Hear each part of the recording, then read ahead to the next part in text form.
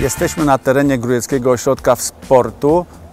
Już 20 maja dojdzie do otwarcia e, oddziału Wojewódzkiego Ośrodka Ruchu Drogowego.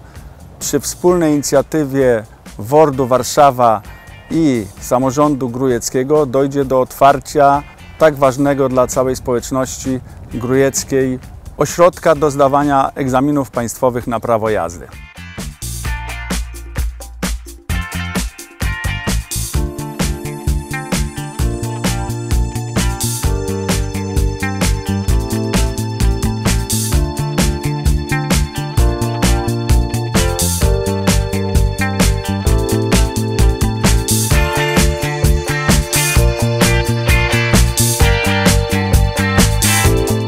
Od dnia 21 zapraszamy Państwa już na egzaminy teoretyczne i praktyczne do nowego miejsca egzaminowania.